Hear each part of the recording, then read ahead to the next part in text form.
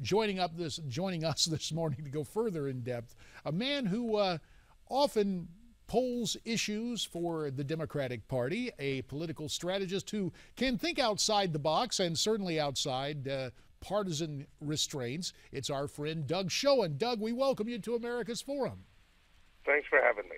So, taking a look at what has gone on here, when when the statements came from Deb, Debbie Wasserman Schultz and others as a as someone who's been there, done that on the GOP side of things, I was a bit dismissive.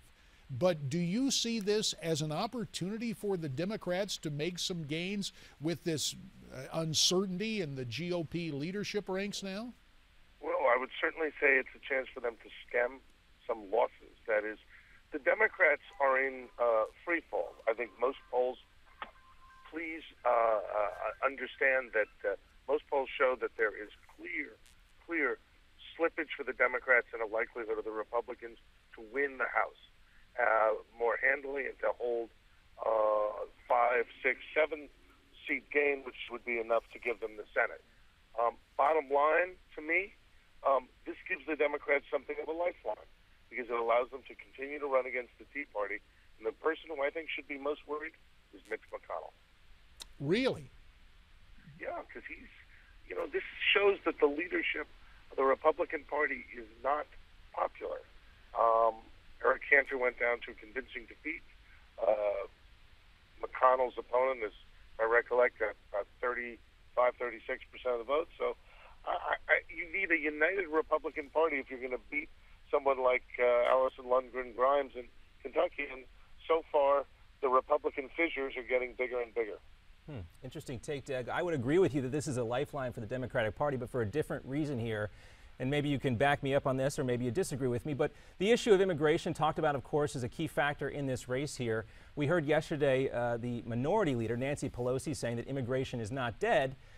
A lot of folks can argue with that, but isn't it true in some degrees that the Democratic Party does not want to really solve the immigration issue before the 2014 midterms because they can keep hammering Democrats with it and driving uh, their base voters out to the polls?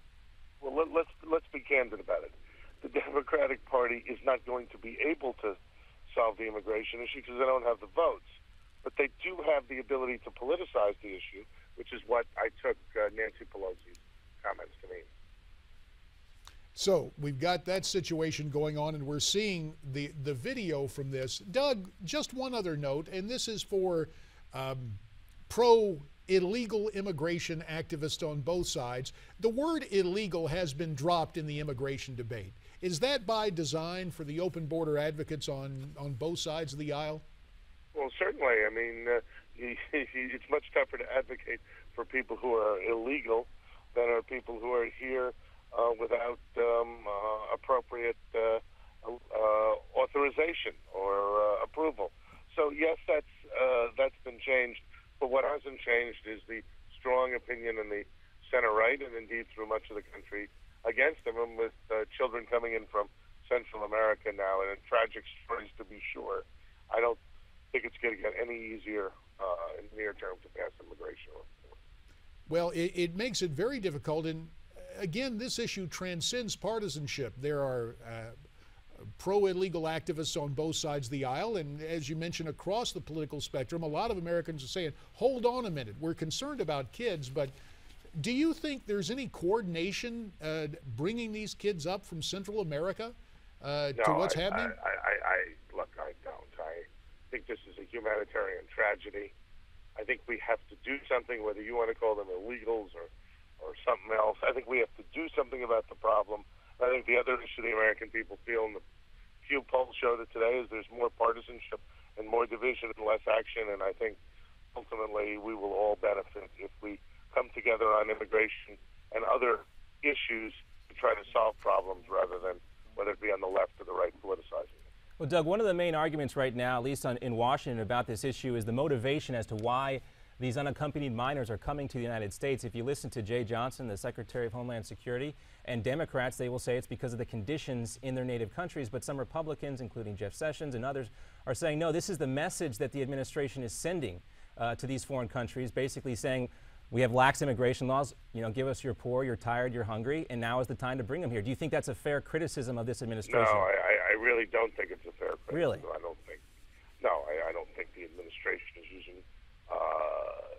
children uh, who are in inhumane conditions to make a political point. I don't think that of anybody, and uh, I uh, very much want to believe and do believe that that is just not the case. Well, let's turn to some other uh, situations here. Uh, as we look overseas and with Congress and its oversight uh, attentions, you, you've got a situation where yesterday there's the former Republican senator, now Mr. Obama's Secretary of Defense Chuck Hagel, in front of the House Armed Services Committee yesterday, trying to explain and justify the uh, Taliban 5 swap for Bowe Bergdahl. What do you see coming out of this situation, Doug? Well, I, I don't know. I mean, this is still a uh, an emerging situation. We don't know all the facts. We don't know the circumstances of the trade. We don't know why Congress wasn't notified. Uh, Hagel said he could have done a better job. That's a, certainly an understatement.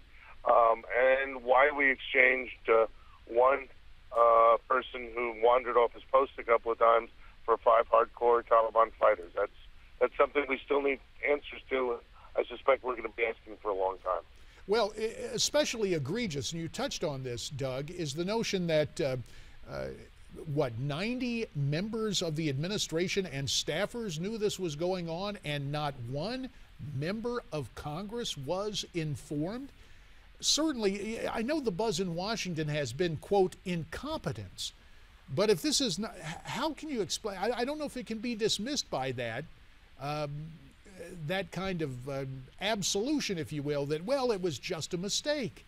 Uh, to have well, that kind of thing, you've been around Washington a long time. Have I, you ever I seen have, this? I don't think it was a mistake. It was a misguided, in my judgment, series of choices that I think require and hopefully we'll get further investigation. And I think that we need to hear from the entire administration to understand why, how, and how uh, what happened, and to avoid this in the future. Well, Doug, another issue that's becoming more and more of an issue uh, potentially in 2014 here is what's happening, what's unfolding right now uh, in Iraq. There was a lot made during the 2012, at least the final presidential debate uh, about the status of forces agreement in Iraq. Uh, that could potentially come up again here. Um, directly or indirectly, do you think this will become an election year issue in the midterms if the violence well, in Iraq I, increases? I think the, the issue of weakness of America, I, I have to uh, go on to uh, my next uh, appointment, but I, I can say in conclusion, the weakness of America, the impotence of our forces overseas, Eastern and Central Europe, Afghanistan, and now Iraq, is becoming palpably clear. I'm not sure Iraq specifically will be an issue. I think everyone's happy our boys are home, but nobody can be happy with the developments recently and the taking of Mosul. Doug Schoen, we appreciate your time this Thank early you. morning in Washington, D.C. We'll let you get to your next appointment, but as always, your insights uh, prove very valuable, and we thank you, sir. There goes Doug Schoen, and it's interesting to hear him talk again about foreign policy emerging as an issue. Yeah. You and I talked about these midterms, and we often see economic issues at the forefront. But if, in fact, this ISIS group is uh, establishing the caliphate we've heard about and Iraq were to fall, uh, it will not sit well with the American people, nor the continued unrest in the Ukraine and elsewhere. So, this is something that, uh, as people say, will it have an effect in the midterm, or will it will it affect more 2016 when we're looking for a new commander in chief? It's yeah. going to be there. It's going to remain a problem. Well, also interesting, JD, to read in the New York Times today that the, the nation of Iraq has requested drone support, potentially from the United States here. Quite different because drone attacks have been blamed for the increase in terrorism in many ways. So we'll have to keep our eye on that aspect of this story as well. Well, the Iraqis say a state of emergency exists, and uh, better the drones than sending them a ceremonial reset button. At any rate, what do you think about what's going on? We'd love to have your comments. Why don't you tweet those comments to us at Newsmax TV, hashtag America's Forum. There's also email, connect at newsmaxtv.com and facebook.com backslash Newsmax. We're coming back right after this on America's Forum.